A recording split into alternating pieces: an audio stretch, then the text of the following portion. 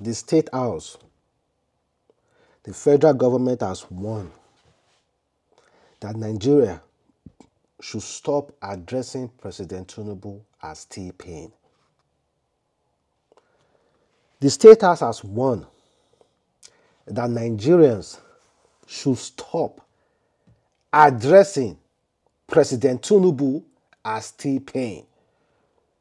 I know of T-Pain, though. T-Pain, the America musician, of course, that's his photo, who sang, uh, I want to buy you a drink. Ooh, I'm going to take you home with me.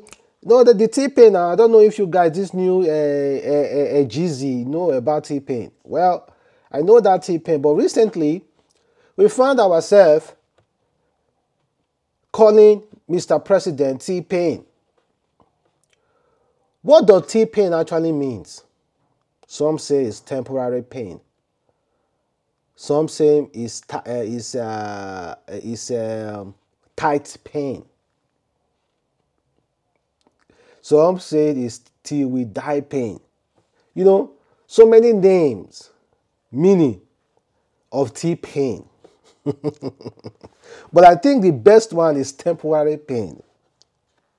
In fact, there is this guy, check out this guy. This guy said, No success comes without pain. I want success, so I choose the pain, temporary pain. This guy here is willing to go through the temporary pain in order to get to the permanent enjoyment. So he is with Tinubu. Somebody said, in 2024, you look like this. How you want to survive reach 2027? So this guy here is ready to go through the T-pain with President Tinubu, who is flying private jet. I no talk more. I no talk more. But then again, the house has won. Nobody should refer to Tinubu as T-pain again. And me, I am seconding it. Do not refer to Tinubu as T-Pain. But see this man, Anthony, not Joshua. So see how he wrote T-Pain. Una know the hear word now until they go arrest you now. But then again, if you check, eh, even the past president, they still have their own names. You understand? This is not the first time Nigerians are giving president's name. Babu was there. Gulo Jonathan also had his own as well. I think it's from Gulo Jonathan Nigerians started internet trolling uh, the presidents. It was from Gulo Jonathan and Patient, his wife, that Nigeria started real abuse on president.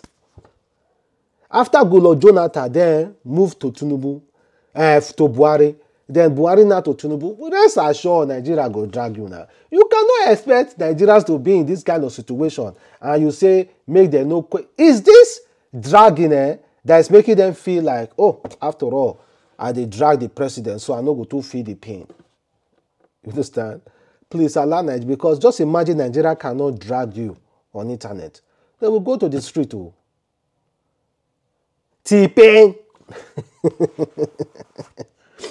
if the federal government are looking forward to arrest anybody, let them go and arrest Atiku Abubakar first.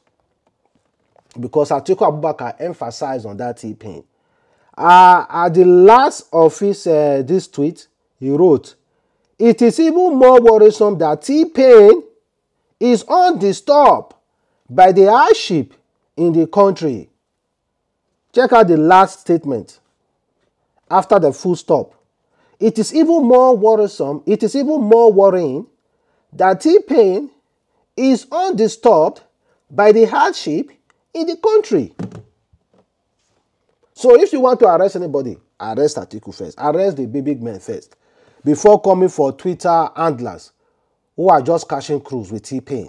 I know T-Pain. T-Pain is a musician. So if I decide to shout T-Pain, T-Pain, T-Pain, T-Pain, T-Pain, T-Pain, T-Pain, T-Pain, you, you now can't go, they tell me, say, why they talk T-Pain. If you think I'm talking to the president, calling him T-Pain, it's left for you. I never said I'm talking with the, to the president. We have somebody called T-Pain. T-Pain. Wetin T-Pain mean sef? Uh-uh. I wanna buy you a drink. Ooh. I'ma take you home with me.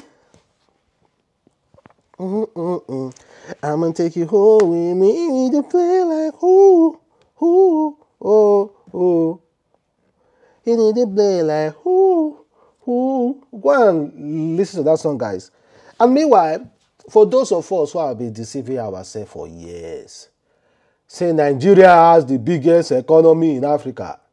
Even in primary school, secondary school, they are still saying that Nigeria has the biggest economy in Africa. It's a big lie. Nigeria doesn't have the biggest economy in Africa. Please, for anybody who is teaching that in primary school as of now, that is a big lie. We have updates of the biggest economy in Africa. Check this one out. As of 2014, Nigeria was the biggest with 568 billion US dollars. As, as, as at 2023, they moved down to number third. Egypt, South Africa, then Nigeria below. Then as at 2024, you see, Nigeria is now at number four. South Africa, 373 billion. Egypt, 347 billion. Then uh, uh, uh, Algeria, 266 billion. Then Nigeria, 252.7 billion dollars. Ethiopia following closely. So, I am here to tell you now that Nigeria is now the fourth largest economy in Africa, not the big. If you okay, you can say that we agree Nigeria is the most populous black nation in the world. Nigeria is the most populous black nation in the world. That one we agree. But largest economy, please, we have to drop that title. We are no longer in control. Let us drop it. South Africa has the largest economy as at now, 2014. And with the way we are going, let us pray things get better. Then let's move past that. Let's talk about the recent uh, interview with uh, Asha Yusufu, the Edo Awochi woman from Yusufu's family. She said she doesn't have a president. Boldly said it that she doesn't have a president. That you guys will not get president, but to her, she no get president. Oh. so you you voted and you worked for Peter Obi, mm-hmm. and you are one of those who won against Bola Tinubu. But now uh, you're one of those who is saying, "Oh yeah, you got what you deserve." Those who voted, but either you voted or you did not vote. We have a president, isn't it? No, but we don't. We do have a president. No, you have a president. I don't have a president. What do you mean? Uh, you are a citizen of Nigeria yeah, and you reside here. of Nigeria. I reside here, but we have an illegitimate president, someone who rigged his way into office. It's like if there's a military coup, are you going to sit down and accept that? Oh, you have a president because someone, you know, there was a military coup. But you this can, is a political you, you, you coup. cannot say that because I you do can, not have I, evidence. Aisha Yesufu yeah. can and have said that Nigeria does not have a president. What we have is someone who rigged his way into office, who is illegitimately but occupying the court does office. not agree with That's your position. the court that has been captured can do whatever it wants to do and that's why there's no respect for it and that's why you have governors you know coming out to thank a Tinubu when their the judgment goes their way so the fact that they, we have a captured judiciary and whatever I, Aisha Yesufu, and I say it without mincing word. I don't put water for my mouth. There's no precedent in Nigeria. There's a president, uh, Bola For Tinubu, you, factually. you. The former governor of uh, Lagos State, Bola Ahmed Tinubu, yes, is illegitimately occupying an office he shouldn't. And I've said it. You, you have your opinion, should I have my own? So why does he have to? no, there is a fact. There's a fact. There is an opinion. No, then go ahead with your own fact. This is mine. This is my reality, and I'm telling you, Nigeria doesn't have. Why is it difficult for you to accept that? Why should this, I accept in the next four years?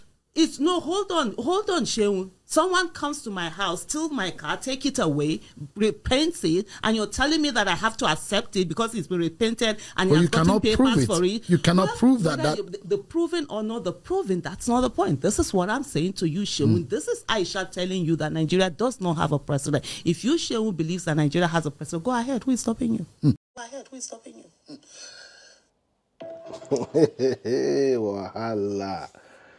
Wahala. You know, eh, these are the bold people, the activists that I really, really respect. They straight talk. Even though you agree or you not agree with them, or they still stand on their ground. You understand?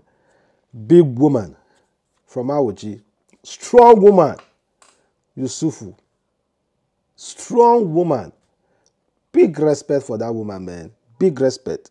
Not everybody can come out to make bold statement like that. Not everyone out that risk jail term. Treasonable offense. Well, I do not read the law. I'm not a lawyer or a barrister, so I don't know the side of this uh, whole thing. If she is uh, indeed uh, is offensive for her to say it for because of our call i don't know if there's any place in the constitution that will penalize such statements let us see for the next period. This is not the first time she's saying it. Even the new national item. She didn't any anytime they are reciting the new national item she know they stand up. So well let's see what will happen though. Bold woman. Bold woman. If I ever become the president eh, at one point eh, in my life eh, hmm, of Nigeria, I will build an image of Aisha Yusuf. In fact, I'm going to put that, uh, you know, that uh, popular uh, uh, uh, picture on one of our notes. I will remove one of all those heroes. In fact, eh, I will remove all the heroes of our notes. Although they are Ziki, we all of them. All the heroes. I will remove all their faces from our note. I will start putting faces of the real heroes, activists, of people who really, really work dearly, not politicians. Not politicians.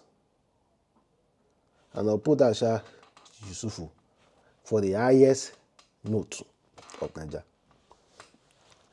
Bold, bold statement. I may not agree with her because, of course, I do not have much power like her. I'm not an activist. I do not have much power as her. I believe Nigeria has a president, President Bola Ahmed Tinubu. He went to court, and court, I don't know if they are corrupt or not. They, are, they can go and they check their conscience, and they thought, say, we get president. So good and fine.